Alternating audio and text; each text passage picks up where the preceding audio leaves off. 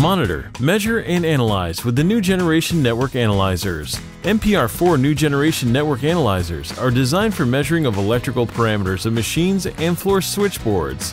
It is a compact solution for narrow switchboards, owing its 45mm depth inside panel. MPR4 series network analyzers offer a wide I.O. solution range, therefore detect status of the working devices in the field, and control them via input and output modules. Wide supply voltage range enables MPR-4 to operate at over and under voltage levels without a failure, thanks to the communication feature. Energy consumption can be monitored from a single monitoring center. In case of any communication interruption, your data will be saved in an internal memory.